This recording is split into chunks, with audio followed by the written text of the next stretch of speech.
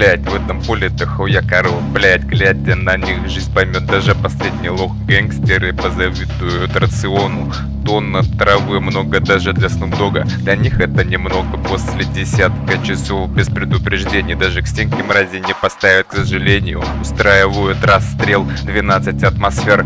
Этого немного, да похуй, это просто воздух. Как бы не так, даже последний вурдалак не станет так гадить next поколением. Мне бы отчислений, но я за добро, за все хорошее, а против всего плохого, бро. Ее